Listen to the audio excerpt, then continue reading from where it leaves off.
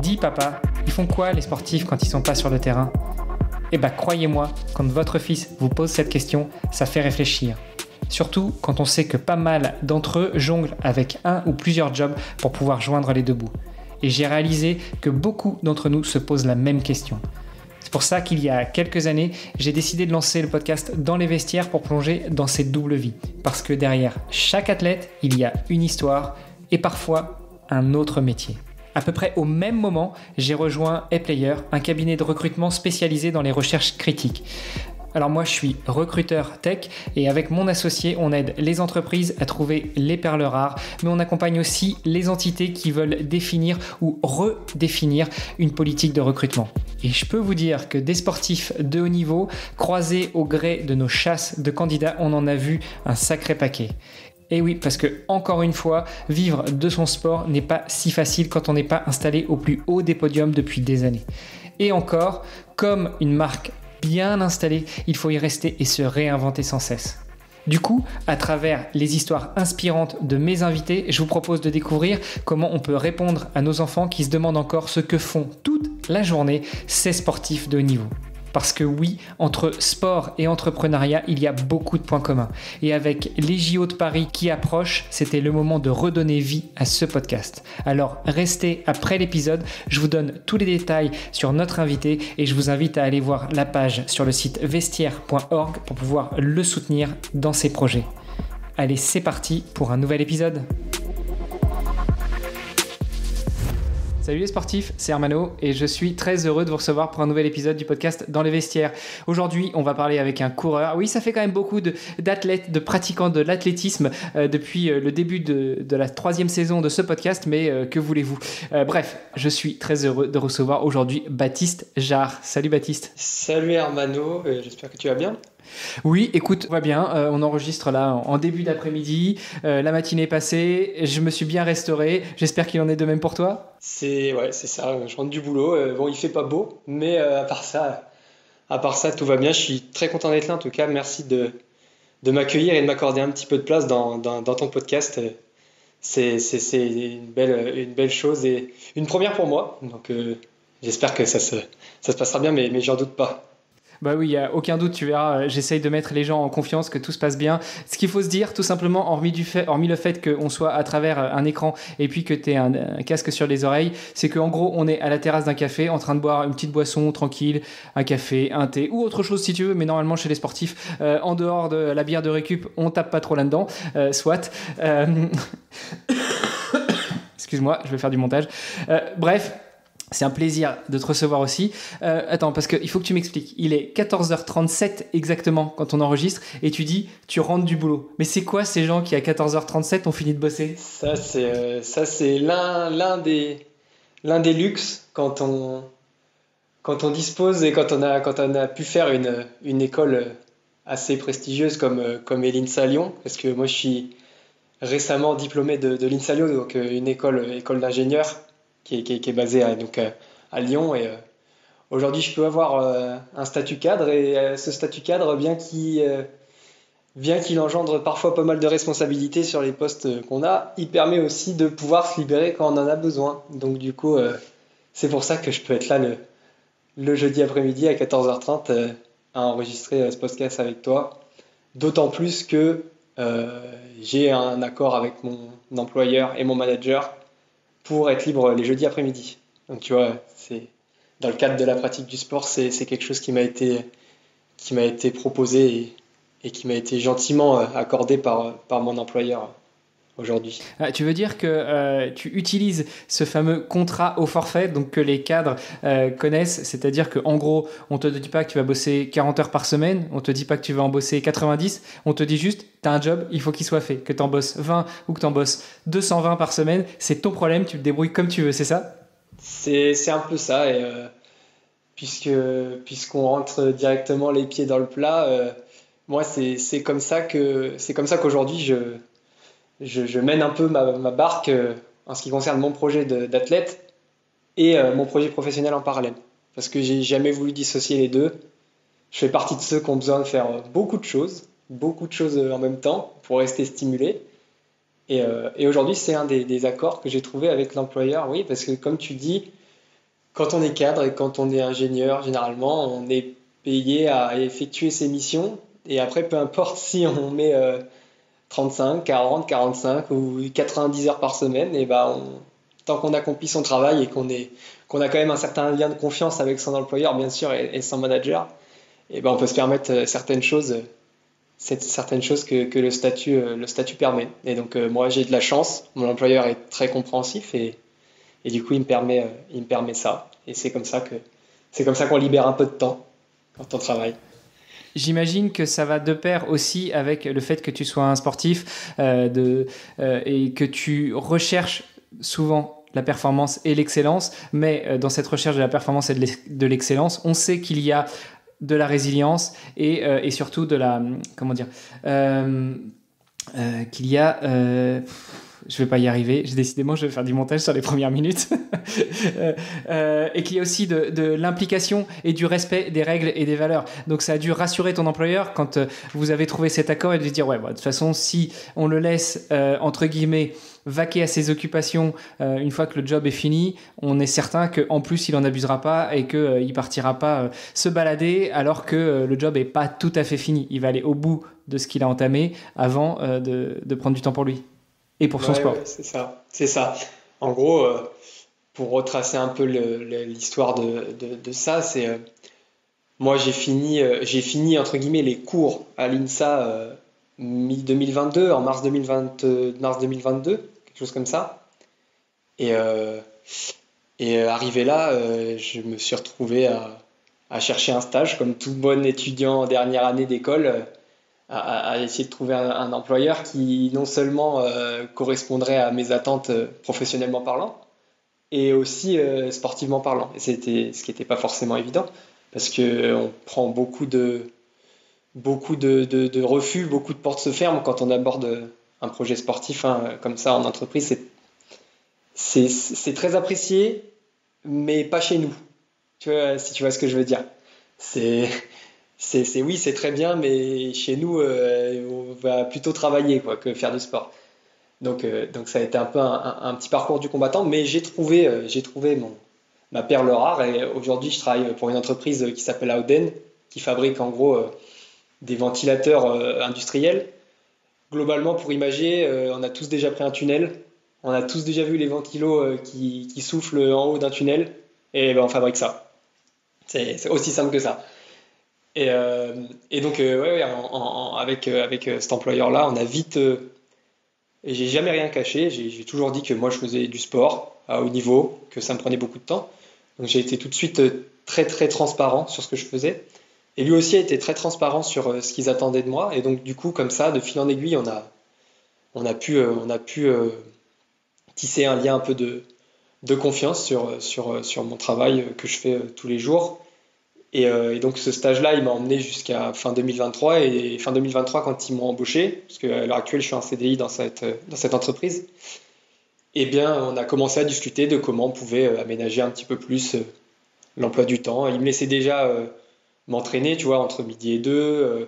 Il me laissait partir plus tôt le soir pour pouvoir aller à l'entraînement parfois quand j'en ai besoin. Parce que comme je m'entraîne en plus au pôle de Lyon, à Dessines, bien que l'athlète soit un sport individuel, je dépends quand même d'un groupe et on a quand même des, rendez-vous à, honorer, tu vois, pour, euh, pour, pour ce qui est de, de l'entraînement. Donc euh, parfois c'est quand même plus sympa de pouvoir se déplacer et terminer un peu plus tôt pour aller s'entraîner avec les copains plutôt que s'entraîner tout seul le soir euh, quand il fait nuit ou, ou, des choses comme ça. Donc déjà là-dessus, ils étaient assez, ils étaient assez compréhensifs. Et depuis, depuis quelques semaines, hein, pas si longtemps que ça, ça doit faire à peine un mois ou deux mois que j'ai j'ai en plus mes jeudis après-midi euh, qui sont accordés euh, pour ça. Mais tout ça, tu vois, c'est un, travail de, confiance. On tisse un lien de confiance entre le manager et l'ingénieur. Et, euh, à côté de ça, bien sûr, j'ai aussi prouvé par mon travail que je savais faire les choses et que je savais un peu tout manager dans, dans, dans, les deux projets. Donc donc voilà, maintenant que c'est fait en bonne intelligence et qu'on se cache rien, ça, ça peut que ça peut que être gagnant. C'est clair. Euh, c'était persévérance le mot que je cherchais tout à l'heure. Mais bon, ah. euh, on va pas revenir sur la, discussion tout à l'heure. Il en faut. Je me rends compte que je suis en train de faire, euh, alors pour citer quelqu'un que j'apprécie beaucoup en tout cas pour ces podcasts, de la Mathieu Stéphanie, c'est-à-dire qu'on est rentré presque direct dans le vif du sujet, on a mis les pieds dans le plat et je ne t'ai pas laissé te présenter. pourtant, c'est la tradition dans les podcasts que j'anime. Je donne toujours la parole à mes invités pour qu'ils se présentent. Donc, dis-nous tout. Qui est Baptiste Jarre? Eh ben, il est jamais trop tard. Du coup, euh, moi, je m'appelle Baptiste Jarre, j'ai 26 ans et je fais euh, de l'athlétisme à haut niveau. Donc, euh, j'ai vu que récemment, tu avais pu accueillir Carole Zaï avec toi. Moi, on est sur de la fibre un petit peu plus lente parce que je suis, plutôt marathonien en devenir. Donc, aujourd'hui, je, navigue un peu entre le 5000 mètres le cross l'hiver et, le marathon, euh, le marathon euh, sur la route qui va finir par être ma, discipline phare. Aujourd'hui, je suis un peu en transition et, j'oriente ma pratique vers le marathon et, euh, vers cette distance qui est assez, mythique et assez, spéciale. Et donc, je fais de l'athlétisme au-dessus de mes yeux athlétisme, sous la houlette de Bastien Perrault. Donc, les, connaisseurs d'athlètes doivent sûrement connaître. C'est un des grands entraîneurs de, de, demi-fond en France. Euh, et, à côté de ça, comme je disais, j'ai pu étudier à l'INSA Lyon, donc école d'ingénieur, et aujourd'hui euh, en CDI en tant qu'ingénieur euh, dans, mon entreprise de mesure. Bon, euh, en parlant de l'INSA Lyon, un petit coucou à, Romain Guillot, euh, qui est passé aussi au tout début de cette troisième saison du podcast, euh, qui étudie encore à l'INSA Lyon. Et puis un petit coucou aussi à Mathias Androdias, qui était passé dans la toute première saison du podcast dans les années 2020, qui lui a fait de l'aviron et qui était étudiant à l'INSA Lyon. Donc un petit coucou à ces deux-là, et puis à tous les autres d'ailleurs, à toutes les autres et à tous les autres invités du podcast, et à ceux qui nous écoutent, qui éventuellement fréquentent l'INSA ou d'autres écoles. Euh, je voulais revenir avec toi justement sur euh, ce qui a construit le Baptiste Jarre de 26 ans de maintenant, euh, que ce soit sur le plan personnel ou sur le plan sportif. toi, le sport, tu l'as découvert comment? Quel est, sans dire ton premier souvenir de sport, mais, quelles sont les mémoires que tu peux avoir du sport? Bah, D'aussi loin que je m'en souvienne, j'ai toujours été, euh, j'ai toujours euh, été sportif. J'ai toujours été licencié quelque part euh, à faire, à faire du sport.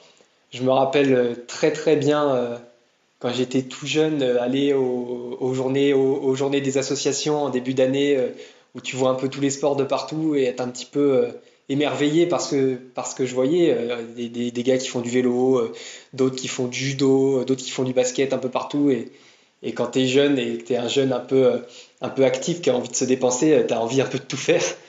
Et, euh, euh, et, mon père m'a orienté, euh, enfin il m'a orienté où je pense que j'ai choisi, parce qu'ils m'ont jamais trop forcé à, à, faire un sport en particulier. Donc j'ai fait un peu de tout, j'ai fait un peu de judo, j'ai fait un peu de tennis, j'ai fait beaucoup de rugby avant d'être d'être athlète. Il faut savoir que avant d'arriver à l'INSA, donc en 2014, j'avais pas encore fait d'athlète. J'étais rugbyman à l'époque. Et euh, je venais de faire euh, peut-être 8 ou 9 ans de 8 ou 9 ans de rugby à un niveau qui était pas si mauvais que ça parce que je jouais en, en championnat euh, ce qu'on appelle le championnat Goderman qui est le championnat de France élite en gros des, moins de 16 ou moins de 17 je me rappelle plus très bien et je jouais parce que moi je suis originaire de Tours et je jouais avec le club de Tours dans, cette, dans cette catégorie là donc était le plus haut niveau français en fait déjà à l'époque donc euh, c'était déjà 3-4 euh, entraînements par semaine, euh, plus on avait une muscu, plus le match le week-end. Donc à, 16 ans, à 15-16 ans, c'était déjà un beau, un beau programme avec le lycée à côté, mais c'était super sympa. C'était une bonne période et je pense que dans mes vieux jours, une fois que mes vieux jours d'athlète, quand je serai obligé d'arrêter, je pense que j'irai faire un petit tour du côté du rugby parce que ça, ça me plaisait beaucoup et c'était un sport que, que j'apprécie toujours énormément euh, aujourd'hui. Et puis euh, après, euh, jusqu'à aujourd'hui, de l'athlé, après mon arrivée à l'INSA et jusqu'à mes 26 ans. C'est d'ailleurs grâce à l'INSA aujourd'hui que, que je fais de l'athlé et surtout que je fais de l'athlé au niveau où j'en fais. Bon, tu parles de rugby, hein, euh, je te l'ai dit, moi j'habite à Castres, donc euh, si tu veux venir voir un petit match, ce sera avec plaisir. Il y a bien une chambre d'amis à la maison, euh, tu pourras, tu pourras passer et puis on ira, tu, tu, iras, tu pourras m'initier parce que moi le, rugby c'est pas trop trop mon truc hein, quand même. je, je, m'y suis intéressé assez tard. Ah ben c'est pourtant c'est un très beau sport. Très très beau sport. Je ne reviens pas là-dessus. Euh, d'ailleurs, j'ai eu aussi euh, Joachim Parizeau de Bayard euh, sur ce podcast, ancien rugbyman pro de Pro D2. Et, et, je suis tout à fait d'accord avec toi, voire même avec vous, que le rugby est un très beau sport. Mais j'ai mis longtemps avant de m'y intéresser. Il a fallu que j'arrive à Castres finalement pour que je me rende compte que, que le rugby c'était un sport qui existait et que c'était un beau sport. Et oui, ça arrive. Alors comment ça, tu ne faisais pas d'athlé avant d'arriver à l'INSA? Euh, je, produis un autre podcast qui s'appelle Devenir triathlète et euh, j'ai eu plusieurs fois des, euh, triathlètes de très bon niveau qui venaient du foot, du hand, du basket, du rugby. Donc il faut croire que les sports justement un peu plus explosifs, ça peut aider aussi à l'endurance. Mais explique-moi comment est-ce qu'on passe du rugby à l'athlétisme. Tu courais après la baballe et puis, et puis tu t'es dit je vais essayer sans la balle? Encore plus simple que ça. Il y a juste le fait que je faisais du rugby à Tours et est venu, sont arrivées les études supérieures et j'ai dû déménager à Lyon du coup, sans papa-maman, sans club de rugby et avec toujours l'envie de faire quelque chose. Donc, euh, comme euh, j'étais pas étranger à l'athlé, hein, j'avais déjà, mon père euh, était pratiquant, était aussi, je me rappelle plus si déjà à l'époque il l'était, mais président du club d'athlé où j'ai pris ma première licence. Et j'avais déjà dépanné une ou deux fois pour les, équipes de cross, un peu comme, comme ça se passe assez naturellement généralement. On va chercher un footballeur, on va chercher un, triathlète, on va chercher pour combler l'équipe comme ça. Et, euh, mais à l'époque, je m'entraînais pas, je faisais juste, euh, je faisais ça pour, pour aider et pour, pour m'amuser aussi parce que ça me plaisait bien. Et puis je l'avais déjà fait aussi euh, en UNSS, au collège, au lycée. Donc je savais ce que c'était que le cross, je savais ce que c'était que de courir. Juste, je m'étais jamais entraîné et, et, et j'avais plus, euh, on va dire, l'envie que ça de, m'y impliquer. Mais quand, je suis arrivé à l'INSA et que forcément, dépaysement, euh, on, part du, cocon familial, on se retrouve un peu seul, mais euh, toujours avec l'envie de faire un peu de sport, et ben, le plus simple, le plus accessible et le plus simple, c'est de, de, courir finalement. Donc on commence à s'entraîner un petit peu, et puis de fil en aiguille, on en arrive là où je suis aujourd'hui. Il faut savoir que j'ai été quand même un petit peu aidé, hein, parce que je suis arrivé à l'INSA donc en 2014 euh, de manière euh, tout à fait standard hein, dans le cursus euh, classique. Et, dès la fin de la première année, j'avais demandé et, postulé à l'époque pour rejoindre cette filière de sportifs de haut niveau qui, qui existe à l'INSA Lyon, dans laquelle on a des aménagements de scolarité pour pouvoir s'entraîner un peu plus et d'autres bénéfices qui nous sont offerts par, par l'INSA. Et j'ai été accepté dans cette, euh, dans cette section. Donc dès la deuxième année, après, j'ai pu euh, augmenter un peu plus l'entraînement et puis euh, progresser petit à petit tout au long, de, tout au long du cursus, du cursus INSA. Est-ce que c'est aussi ce qui explique que finalement tu as fait 9 ans à l'INSA? Alors, je sais plus si c'est 8 ou 9 que j'ai fait, j'avais peut-être fait 9, ouais. Mais, mais oui, c'est ce qui explique, entre guillemets. il y a eu d'autres aventures, hein, parce que je suis parti aussi un an aux États-Unis pour l'athlétisme et ça m'a fait rajouter encore un an. Mais, mais oui, oui, c'est en partie, euh, c'est en partie euh, la qui est responsable des, des, des longues études que j'ai pu faire.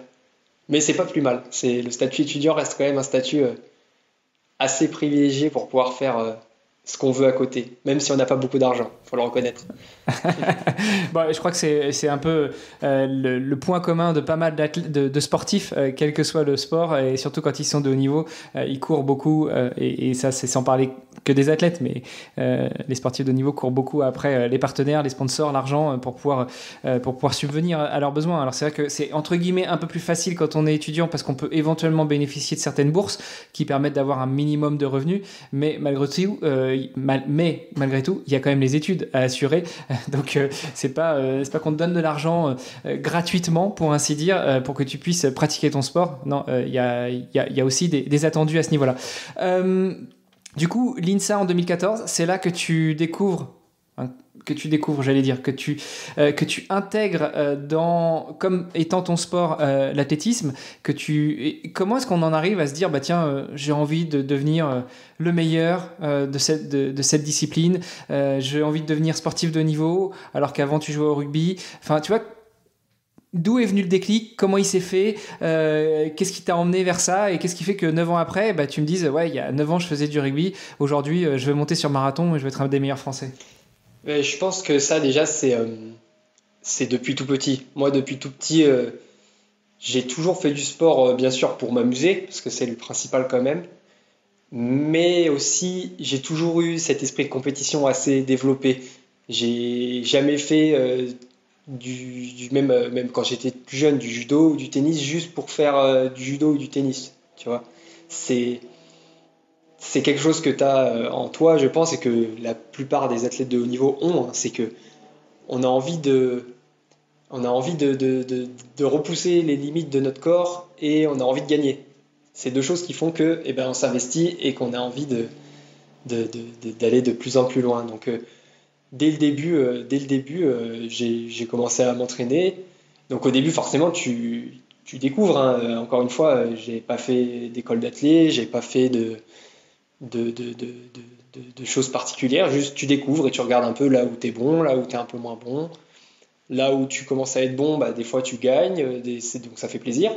Tu vois que tu peux progresser, tu essayes des choses, et puis de fil en aiguille, tu trouves un peu ta voie. Et, euh, c'est ce qui fait qu'après, euh, quelques années plus tard, tu te retrouves à, à te dire, bah allez, j'ai passé pas mal de caps, il m'en reste encore quelques-uns à passer, mais il faut que je mette encore de nouvelles choses en place pour pouvoir y arriver. Ça vient pas forcément tout d'un coup euh, comme ça, hein. c'est vraiment euh, étape par étape. Tu, tu découvres un peu tes limites, tu découvres un peu ce que tu es capable de faire, tu découvres ce que tu peux mettre en place pour y arriver, et puis tu fais ton petit, euh, ton petit chemin et puis tu arrives, là où tu as, envie d'aller. On, sent quand même bien l'ingénieur, hein, euh, step by step, euh, étape par étape. Euh, tu, tu, fais quelque chose, tu essayes, tu, éventuellement tu échoues et puis tu recommences.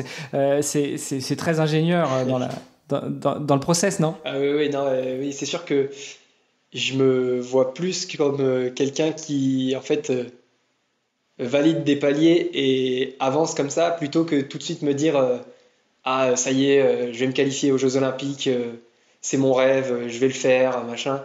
Non pas que j'y pense pas, mais aujourd'hui je reste quand même lucide sur ce que je fais et j'essaye de pas griller les étapes. Ça, ça a toujours été, que ce soit les, discours de, de, de, de, mon père qui m'accompagne un peu au niveau de l'athlé, de, mon premier coach que j'avais au début, même de Bastien à l'heure actuelle, qui est mon coach, mon coach actuel.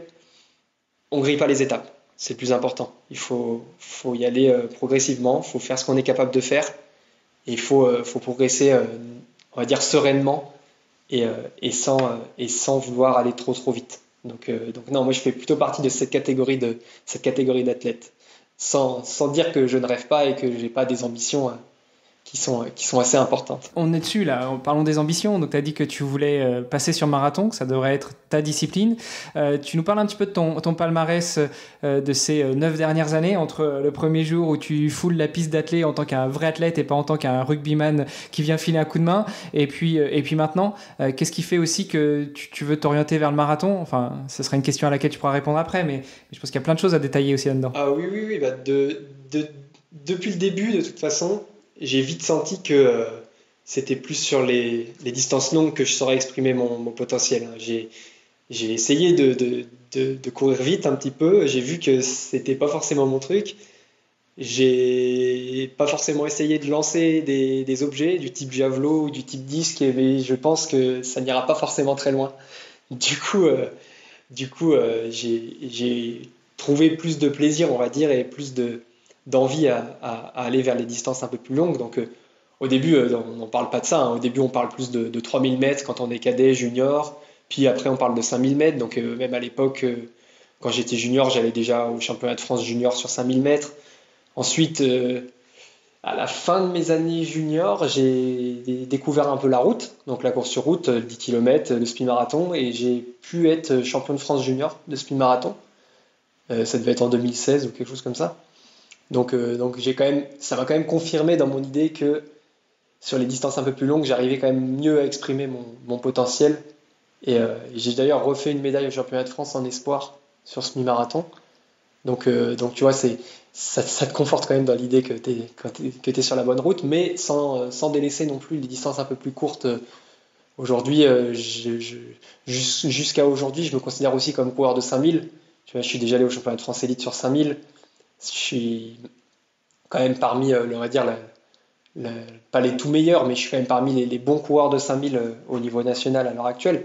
C'est pas quelque chose que j'ai envie de délaisser tout de suite parce que je sens que je peux encore progresser.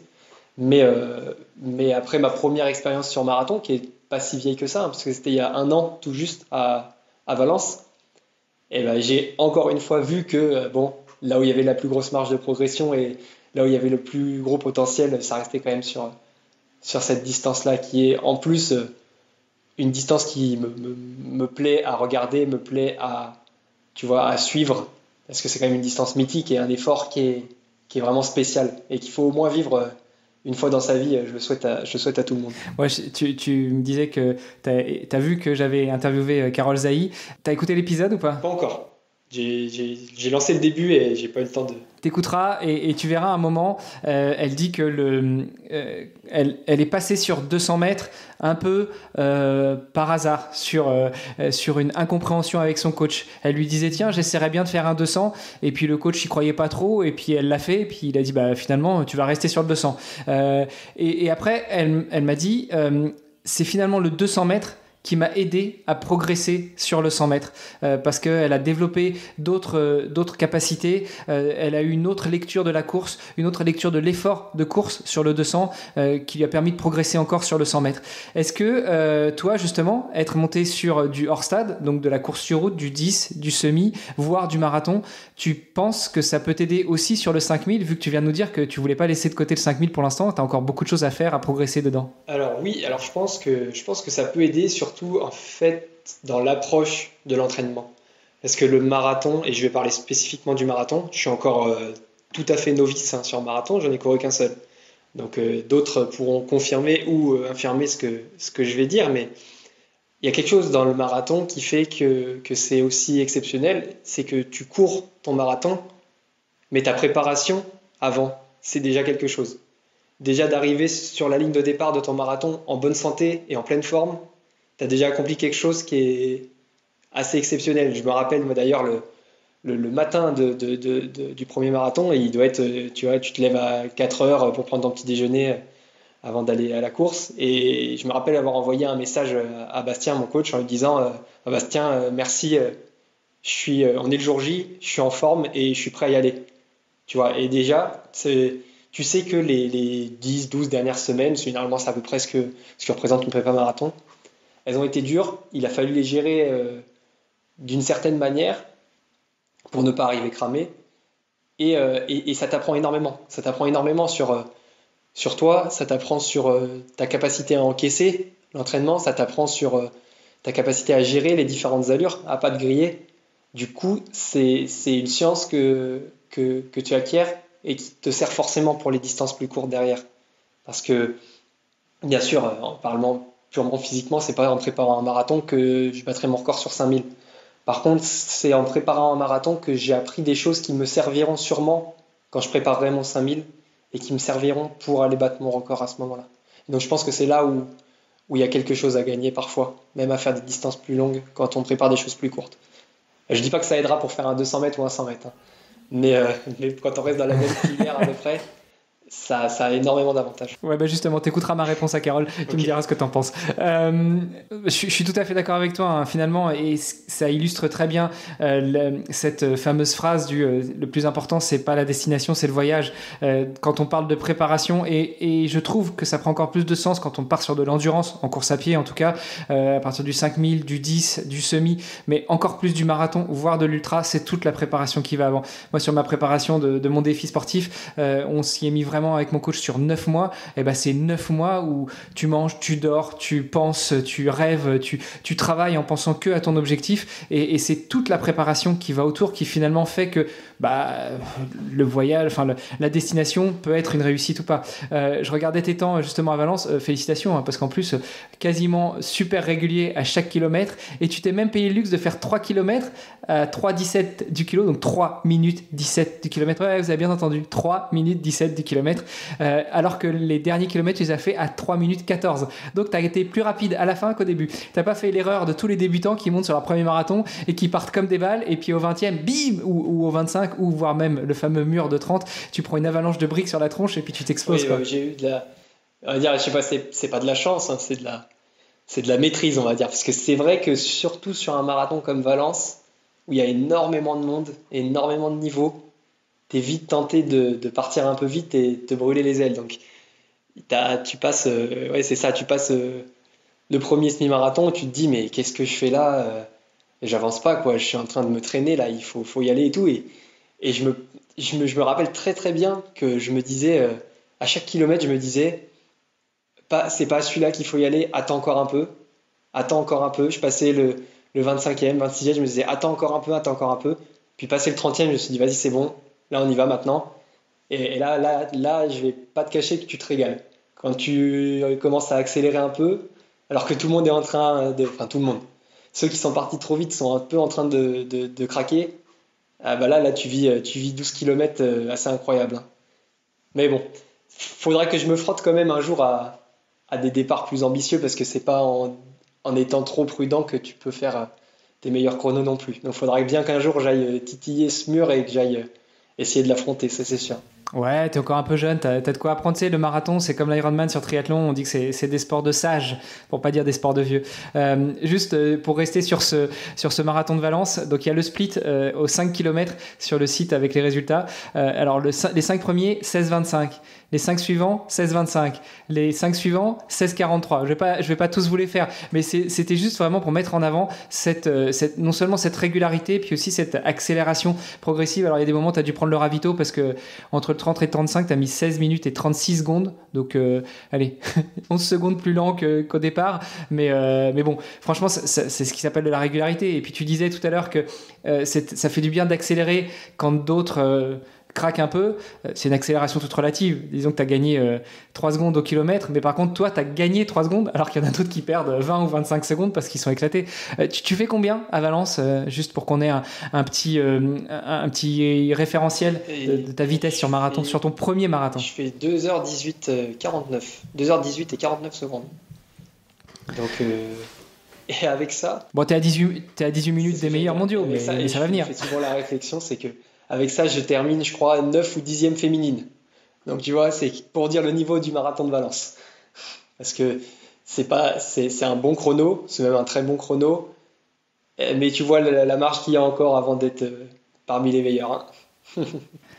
Écoute, si tu veux faire un marathon où tu t'éclates, euh, mais vraiment pour le plaisir de la course et pour la beauté du paysage et la balade, s'il fait beau, c'est vraiment super sympa. Je t'encourage à aller faire celui de Luxembourg. C'est un night run.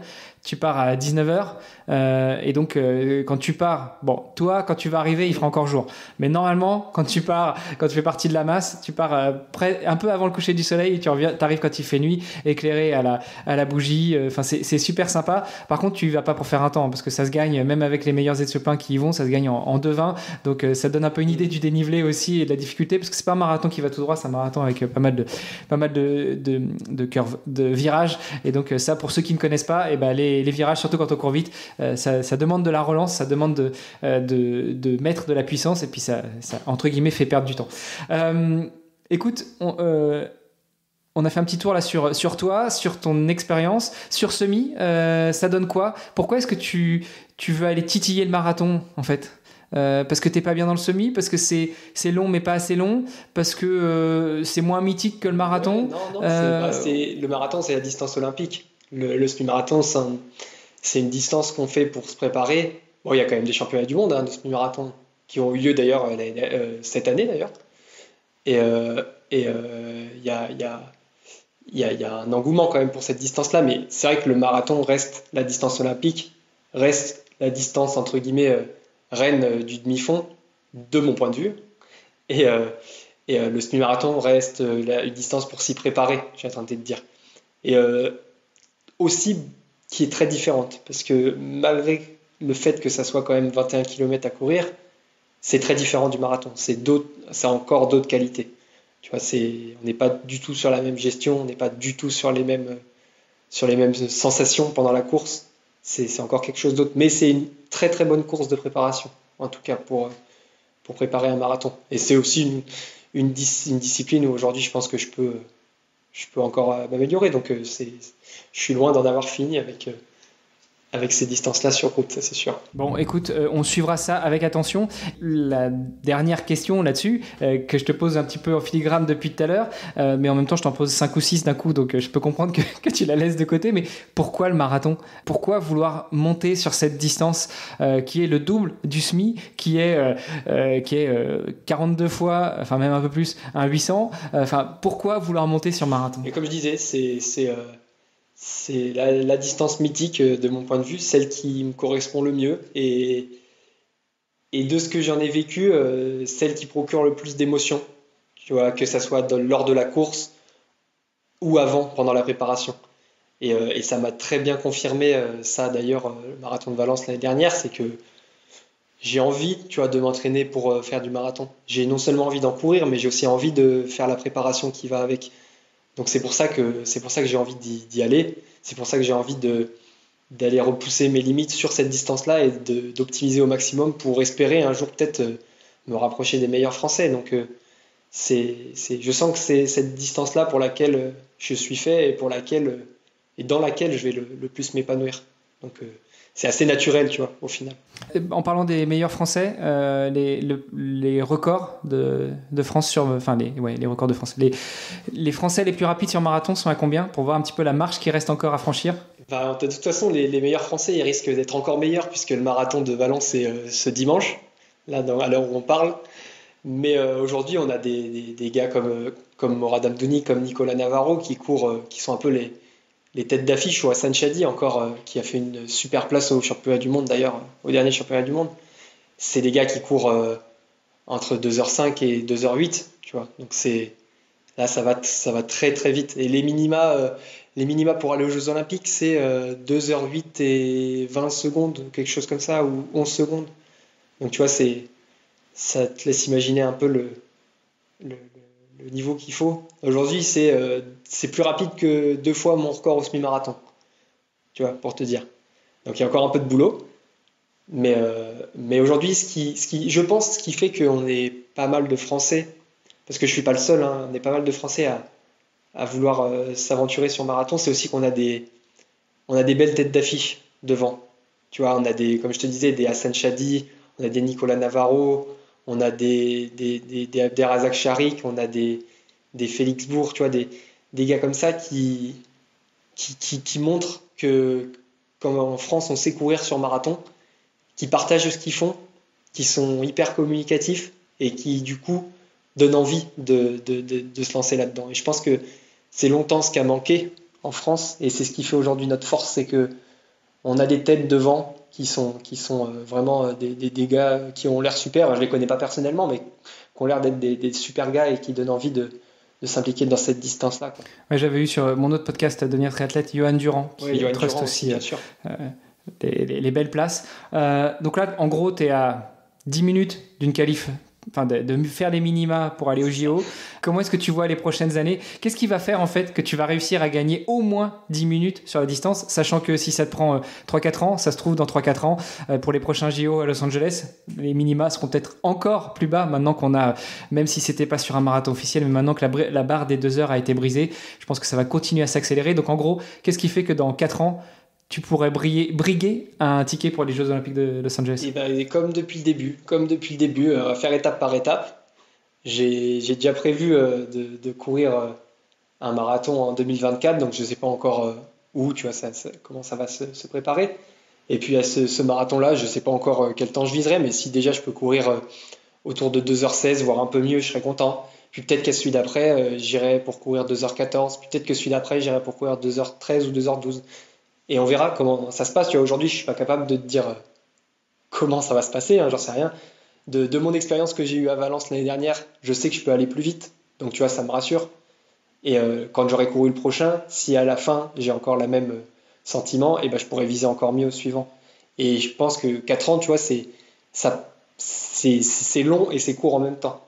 En, 4 ans, tu fais pas non plus 40 marathons. Mais la chance qu'on a sur marathon, c'est qu'aussi, euh, il y a 2028, mais derrière, il y a aussi 2032. Et en 2032, moi, je ne serai pas non plus euh, très vieux. J'aurai 35 ans. Tu vois, sur marathon, ça se fait encore. Hein. Aujourd'hui, euh, un Sanchadi, c'est à peu près la tranche d'âge dans laquelle on est. Hein. Donc, donc faut, faut, faut, comme, comme je te dis depuis le début, faut pas griller les étapes, faut s'entraîner sérieusement, faut à chaque préparation essayer de rajouter un petit plus. Tu vois, je sais pas, je sais pas encore ce que je ferai différemment la prochaine préparation de, celle que j'avais faite pour Valence, mais il y aura sûrement essayer de, comme on parlait tout à l'heure, euh, sûrement essayer de gagner un peu encore de temps euh, au niveau du boulot pour pouvoir m'entraîner, récupérer un peu mieux, mettre en place d'autres processus de récupération, peut-être des processus euh, de, nutrition, des choses qui vont dans ce sens-là, qui vont vers la performance. Mais aujourd'hui, je, tu vois, je découvre encore et je, je, je, je, me fixe pas, on va dire, il faut que je gagne ces 10 minutes dans les 4 années à venir. Je, vais, je verrai combien j'en gagne au prochain, puis au suivant et ainsi de suite. Bon, on voit que les plans de l'ingénieur sont déjà euh, tracés. Tu parlais justement de ton travail, alors déjà en intro, et puis euh, là tu en as reparlé pour dire comment est-ce que tu pourrais t'organiser par rapport au travail, par rapport à l'entraînement, pour améliorer tout ça. Euh, comment on fait pour concilier les deux? Alors on va pas revenir sur les aménagements de, de, de planning que t'octroie ton employeur, mais, mais comment on fait? Tu cours le matin, tu cours le midi, tu cours le soir, tu, euh, tu croises avec euh, d'autres sports, euh, tu manges, dors, penses, enfin course à pied tout le temps. quand tu vas au bureau, tu cours dans l'usine. Enfin, comment est-ce qu'on fait pour optimiser sa préparation pour être certain d'atteindre ses objectifs? Quand on travaille C'est exactement, c'est exactement le mot qu'il faut utiliser, c'est l'optimisation. Et il y en a deux. Il y a l'optimisation et l'organisation. Euh, aujourd'hui, moi, enfin, moi de base, je suis déjà quelqu'un d'hyper euh, organisé. Donc ça aide. Et, euh, et dans ce cas-là, ce qu'on fait. Ouais, T'es ingénieur. voilà, On, va, on va bien taper sur les clichés. donc voilà, l'esprit hein. cartésien, carré. Il y a de tous les profils en tant qu'ingénieur. Mais, mais c'est ça. En, gros, il faut optimiser, son, faut optimiser son temps. Il faut essayer de tout faire rentrer. Donc c'est pas forcément facile tous les jours, hein, mais mais c'est ça, comme tu dis, c'est bah, aller courir parfois avant d'aller au boulot le matin. C'est aller courir entre midi et deux. Euh, quand tu cours deux fois dans la journée, bah, c'est une fois le midi, une fois le soir, ou une fois le matin, une fois le soir. Il faut essayer de faire les choses au mieux, non seulement pour pouvoir t'entraîner, mais aussi pour t'entraîner sans créer de la fatigue qui va être rédhibitoire par la suite. Tu vois, le but, c'est pas de se lever non plus à 3 heures du matin et d'aller faire sa séance à 3 heures du matin pour être derrière euh, complètement euh, cuit toute la journée ou, à répétition être cuit sur toute sa prépa. Ça, c'est pas l'objectif. Donc, c'est beaucoup de, on va dire, beaucoup d'essais, hein, parce que forcément, tu ne trouves pas ton rythme dès le début comme ça. Hein. mais euh, c'est, ouais, de, l'efficacité et de l'optimisation dans, un peu tout ce que tu fais. Hein. Moi, c'est pas, euh, pas euh, ce que je voudrais vivre tout, tous les jours de toute l'année. Mais pendant la prépa marathon, il y a des semaines où euh, bah, c'est exactement ça. Tu te lèves, tu cours, tu vas au boulot, tu manges, tu, tu continues le boulot, tu cours, tu rentres, tu manges et tu dors. Et tu refais ça le lendemain, le surlendemain. Et il bah, faut l'accepter, c'est comme ça. Hein. Tu, tu, sais que c'est pour une période définie et que c'est entre guillemets pour ton bien, puisque c'est dans le cadre de, ta prépa et pour atteindre ton objectif. Donc euh, il faut le faire, mais moi ça me dérange pas de le faire. Je fais, je suis, je suis un passionné de sport à la base et un passionné d'athlète, donc je le, fais naturellement. Hein, c'est pas, je me force pas à, faire ça. Bon, il y a, forcément, il y a d'autres, il y a d'autres contraintes. Hein. Des fois, bien sûr que des fois, j'aimerais faire la sieste. Des fois, j'aimerais me poser un peu dans le canapé et, rien faire. Mais bon, ça, je le fais quand j'ai le temps. Je le fais quand il y a, il y a des périodes un peu plus cool, quoi. Ça, ça n'enlève rien. Bon, eh ben, écoute, je me permets de réagir. Euh, je l'ai déjà fait avec euh, Patrice Essélé Sassa, euh, qui est un athlète aussi, qui a ouvert cette saison 3. et je l'ai fait avec d'autres personnes. quand je préparais mon défi, j'ai appris grâce à Lucille Maffre et à, Marc Muezza, donc Lucille Maffre qui est spécialiste du sommeil et Marc Muezza qui était mon préparateur mental, à faire des micro-siestes je te promets, 5 minutes 30, montre en main, je fais une sieste et je, je me requinque, je, je, régénère mon corps euh, comme, euh, comme jamais. Et donc finalement l'excuse de Ouais, j'aimerais bien le faire quand j'ai le temps. Non, ça tient pas. Une micro-sieste de 5 minutes tous les jours. Tu finis de manger, tu avales un café, hop, tu te poses. Tu n'as même pas besoin de t'allonger. Tu restes assis sur ta, sur ta chaise. Tu tiens un stylo dans la main, par exemple, ou une paire de clés. Et quand tu t'endors vraiment euh, profondément, c'est là où. Enfin, profondément. Quand tu commences à rentrer dans un sommeil plus ou moins profond, c'est là que tes muscles se décontractent et donc que tu fais tomber ton stylo ou, tes clés, euh, suivant ce que tu as pris dans la main. Et ça va te réveiller. Et en fait, tu vas voir, c'est vraiment récupérateur, régénérateur. Donc je t'invite et j'invite même tous les auditeurs à faire ça ça leur fera vraiment beaucoup de bien. Je ne manquerai pas d'essayer, voir ce que ça donne. Euh, donc, rugbyman, qui découvre euh, sérieusement l'athlé quand il rentre en école d'ingénieur en 2014. On est euh, quasiment dix ans après, tu es diplômé, tu travailles, euh, tu te prépares au-delà de faire du fond, donc du demi-fond et du fond, tu te prépares même pour du semi et du marathon. Tu as des objectifs, tu as des velléités sur marathon et malgré tout, bah, tu as un emploi. Est-ce que tu as un emploi parce que on peut pas vivre de l'athlé ou difficilement ou est-ce que tu as un emploi parce que c'est l'équilibre que tu as trouvé, travailler et faire du sport de haut niveau? Et il y a plus il y a plusieurs choses il y a plusieurs choses. Déjà, euh, comme je disais, euh, moi j'ai trouvé que le statut étudiant, euh, c'était très bon statut à l'INSA pour pouvoir faire l'athlé et pouvoir faire un peu ce que je voulais. Mais, c'est vrai qu'arrivé à la fin de l'INSA, bah, tu te retrouves comme tout le monde hein, face à un dilemme, enfin comme tout le monde. Tous les, gens qui ont un projet autre que, leur projet professionnel, hein, que ce soit un projet sportif ou artistique ou, autre, bah, qu'est-ce qu'on fait? Est-ce que euh, est-ce que on travaille? Est-ce qu'on se lance à 100% dans son projet sportif? Est-ce qu'on est-ce qu'on essaye d'autres choses? Et donc là, c'est là où il a fallu euh, se poser et réfléchir. Et on sait tous les deux que c'est pas le sport euh, qui est le plus propice à en vivre, l'athlétisme. Hein. On ne gagne pas énormément sa vie en faisant de l'athlétisme. Et donc, moi, je me suis posé différentes questions. Je me suis dit, Aujourd'hui, est-ce que j'ai envie de faire que de l'athlétisme? Et la réponse, ça a vite été non. J'ai toujours eu un équilibre qui fonctionnait très bien en faisant beaucoup de choses. J'ai eu l'expérience de ne faire que de l'athlé pendant une, période de, temps. Ça m'a pas forcément, tu vois, ça n'a pas forcément été avec mon profil et été avec euh, mes, mes, mes, capacités. Donc, euh, j'avais pas trop aimé ça. Donc, en fait, ça s'est fait assez naturellement. Aujourd'hui, il fallait que je travail ou au moins que j'ai une activité à côté de, à côté de l'athlète. Et du coup, après, c'est pareil, euh, on, cherche forcément à, à, vivre. Hein, j'avais pas non plus pour objectif de, de, de, de, vivoter, quoi, de, survivre comme le, font la plupart des, des, athlètes, malheureusement, hein, même, même au plus haut niveau. Et donc, je suis, tu vois, moi, je, je suis pas. Euh, aujourd'hui, j'arrivais euh, face à des gens, que ce soit une entreprise ou des partenaires ou, ou autres, et ben, je suis pas influenceur, hein. j'ai pas, euh, pas cette capacité à, fédérer euh, les gens autour de moi autant que ça. Et, euh, et j'ai pas envie non plus de, de, de, d'essayer de, vivre à coup de, d'aide, à coup de, tu vois, de, de, petites primes de courses, de choses comme ça. Donc, ma meilleure option, c'était, et ben, puisque tu as un double projet, aujourd'hui tu es ingénieur et tu es athlète, et ben, va à fond dans ce double projet-là. Et aujourd'hui, à tous les gens avec qui je discute, tous les gens à qui je parle, aujourd'hui, je me définis non seulement comme un athlète, mais aussi comme un ingénieur. Et aujourd'hui, je suis les deux et les deux sont indissociables. Et du coup, la, meilleure option qui, m'allait, c'était de prendre du temps et vraiment poser mes, conditions, mais trouver un emploi qui me permette de, m'épanouir et de pratiquer l'athlète à côté. Et avec ça, de mon point de vue, tu t'en sors très bien parce qu'aujourd'hui, bah, je gagne bien ma vie, même je gagne très bien ma vie si je compare à beaucoup d'athlètes qui sont bien meilleurs que moi, des athlètes de très haut niveau même. Donc sur cet aspect-là, au moins j'ai ce stress en moins, qui est le stress financier et qui est qu'il faut pas négliger. Hein, quand euh, j'ai déjà regardé plusieurs reportages sur beaucoup d'athlètes de très haut niveau et le stress financier c'est vraiment quelque chose qu'il ne faut pas négliger. Et ben moi aujourd'hui déjà ça je l'ai pas. Et tu vois c'est déjà quelque chose qui me permet de me dire tous les matins bah je me lève et j'ai pas de souci de si à la fin du mois j'aurai assez pour, euh, pour, euh, pour mes dépenses de, de, de, de nourriture, de logement, de, de, déplacement en compétition, à l'entraînement. Et donc, euh, naturellement, c'est devenu la, la, meilleure solution aujourd'hui et je ne regrette pas du tout ça.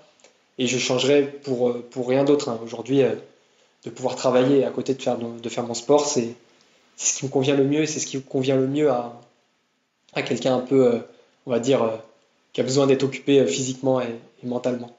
Bien que, euh, bien entendu, s'il y a des possibilités d'aménagement quelconque avec mon employeur, d'aménagement mineur, hein, je ne te parle pas de, de, de, travailler un jour par semaine et, de faire que de l'atelier le reste de la semaine, mais euh, s'il y a des possibilités d'aménagement mineur qui aident à la récupération, qui aident à l'organisation, et bien, bien sûr, on en discute et je les prends avec, avec grand plaisir. Tu parlais du, stress financier euh, généré chez beaucoup de sportifs et surtout des sportifs de haut, voire de très haut niveau. Euh, c'est l'essence même de ce podcast, hein, justement, c'est de mettre en lumière euh, ces difficultés que rencontrent les sportifs et les sportifs de haut niveau, qu'ils soient en activité ou qu'ils soient retraités du sport, entre guillemets. c'est bah, effectivement de prouver que on peut éventuellement faire les deux, comme tu le fais, mais qu'il y a de toute façon un inconvénient d'un côté, si on fait que son sport, il y a ce stress financier, aller euh, à la recherche de partenaires, aller à la recherche de sponsors, euh, trouver des moyens de se financer à coup d'aide euh, ou à coup de soutien des clubs ou des fédérations. mais quand on a un emploi, qu'on vit très bien, très confortablement, il y a aussi le stress de la récupération. J'imagine que quand tu quand tu t'avales une préparation marathon, alors je, je, voulais venir un petit peu avec toi sur sur les chiffres, mais mais si je me rappelle de euh, si, je me rappelle de l'entrevue euh, que j'avais eue avec euh, Johan Durand, il disait que c'était pas rare qu'il fasse des semaines à 200 km de course à pied. 200 km de course à pied, même si chez lui ça va très vite, ça demande quand même du temps, de l'implication et de la récupération, qu'elle soit musculaire, qu'elle soit mentale. Et, ça, c'est peut-être quelque chose que tu n'as pas justement quand tu as un emploi à côté. Il faut, réussir à jongler avec tout. Bon, j'ai jamais été jusqu'à 200 km encore moi de mon côté. J'ai déjà fait 160 au max sur une semaine de travail complète et c'était bon, c'était pas évident. C'est une semaine sur toute la préparation. Parce que le reste des grosses semaines, je les avais faites en stage. Euh, j'avais pris trois semaines pour partir en stage. Ouais, tu, tu chipotes, euh, tu fais deux marathons le week-end, un le samedi, un le dimanche, ça te fait déjà 80. Il t'en reste 80 autres à placer. Euh, à coup de 20 bornes par jour, ça, ça passe facile, non? Non?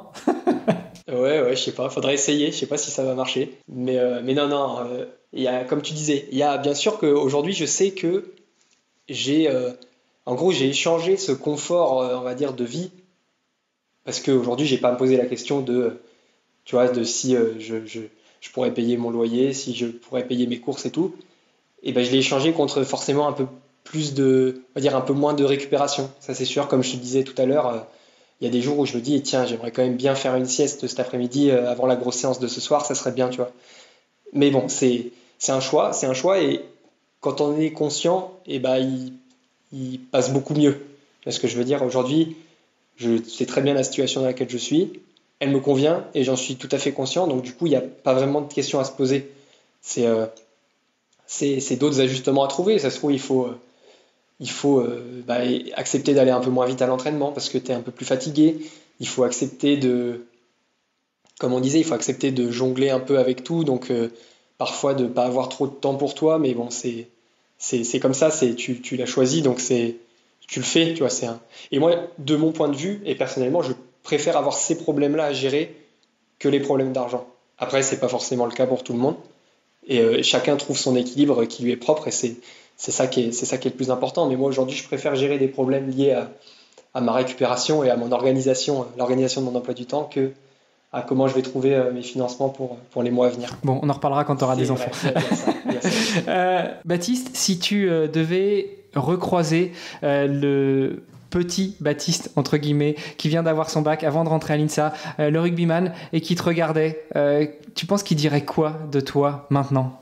Bah, il dirait que déjà il serait fier de lui parce que c'était pas gagné enfin c'était quand même un, long parcours hein quand tu fais 8 ans d'INSA, c'est, c'est pas rien, mais euh, il dirait est, il est, content de, voir euh, ce qu'il est devenu, forcément. Hein. Aujourd'hui, euh, aujourd'hui, moi, je suis très fier de, de, ce que j'ai accompli. Je suis encore jeune, hein, il me reste encore pas mal de choses à accomplir, mais jusqu'à aujourd'hui, j'ai l'impression que dans ma vie, j'ai quand même fait les bons choix pour, pour orienter ma carrière personnelle, ma carrière professionnelle et ma carrière sportive. Donc, donc non, non, je pense qu'il serait très content de voir où le, où le Baptiste, 9 ans plus tard, euh, se situe. Eh bien écoute, je pense que c'est une très belle conclusion pour l'épisode du jour. On a passé en revue toi, ton histoire, ta carrière, euh, tes objectifs, le sujet du financement des carrières de sportifs de haut niveau. Euh, on, a, on s'est projeté dans un, dans une modification de l'espace-temps en, sachant, en essayant de savoir ce que penserait le, Baptiste d'il y a 9 ans. Euh, je te propose qu'on en reste là. Est-ce qu'il euh, il y avait d'autres points malgré tout que tu voulais qu'on aborde encore aujourd'hui? Euh, Non, je pense qu'on a fait, on a fait déjà un bon, un bon, petit, un bon petit bout de chemin. déjà, je voulais encore te remercier hein, une nouvelle fois parce que c'est, une expérience inédite hein, pour moi de, parler un peu de moi. Je suis pas trop du genre à parler de moi trop souvent, donc ça me fait un peu, un peu bizarre, mais c'est super agréable en tout cas. Et, et je te remercie encore, euh, on a passé un, très bon moment. Eh ben, je t'en prie. Pour terminer, si euh, on voulait justement te contacter, si tu voulais euh, rester en contact avec ta communauté qui va être grandissante, hein, tu l'as dit, il faut, il faut parfois savoir être un peu influenceur, avoir, savoir animer une communauté. Donc ça se passe où Sur Facebook, sur Instagram, sur Twitter, sur, sur TikTok, sur LinkedIn Dis-nous tout. Alors moi, je, alors je, je ne suis pas influenceur, mais par contre, j'essaie quand même de beaucoup partager ce que je fais sur LinkedIn notamment que ça soit du côté sportif et du côté professionnel. Justement, toujours dans cette optique euh, d'ingénieur athlète. Tu vois, mon LinkedIn, il ne sert pas que au sport et il ne sert pas que aux professionnels. Il y a les deux. Je pense que c'est là où on peut retrouver pas mal de, choses que je partage. Donc, euh, c'est LinkedIn euh, Baptiste Jarre, hein, très classique. Je m'appelle comme dans la vraie vie. Et, mon Insta, pareil, Baptiste Jarre, où là, c'est un peu plus, un peu plus tourné sport et un peu plus tourné personnel, entre guillemets, on va dire mais c'est mes deux grosses sources de, communication. Bon, et puis la, question à la con qu'on t'a très certainement déjà posée, il euh, y a un lien avec euh, le DJ euh? ben, Malheureusement, malheureusement, non, parce que sinon j'aurais peut-être encore moins de problèmes d'argent. Mais, mais non, malheureusement, c'est pas la même orthographe, du coup, on n'est on est, pas, de, on pas de la même trempe. chacun, chacun bon, on va dire que vous êtes des, des cousins éloignés. Ouais, c'est ça. Écoute, toi, c'est le sport de haut niveau et d'endurance, et lui, c'est la musique de haut niveau et d'endurance. Euh, Merci beaucoup Baptiste pour ce moment qu'on a passé ensemble. Euh, je te souhaite une bonne continuation, bonne continuation dans tes objectifs. On espère te voir avec le maillot France, et bah soit à Los Angeles, soit encore après. Hein. Euh, on voit que tu mets les, enfin on voit, je vois parce que les auditeurs le voient pas, mais mais tu mets les mains en forme de prière. Donc écoute, on sera avec toi. Je te, je te dirais pas qu'on sera à côté ou devant, on sera plutôt derrière nous, hein.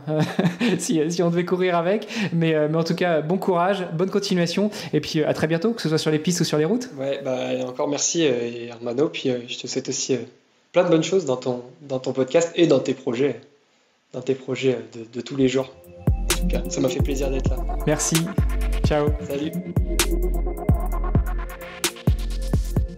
Alors on est tous d'accord, chaque athlète a une histoire unique, tout comme Baptiste Jarre que vous venez d'entendre sur le podcast. Si son parcours vous a inspiré, eh bien rejoignez-nous sur les réseaux sociaux du podcast pour en discuter. Tous les liens sont dans les notes de l'épisode. Pour en découvrir davantage sur Baptiste et tous les autres sportifs du podcast et les soutenir dans leurs défis, eh bien visitez le site vestiaire.org. On a besoin de vous, chaque euro compte et 100% des dons sont directement reversés aux athlètes. Le podcast Dans les vestiaires met en lumière ces héros du sport et ils ont besoin de votre soutien.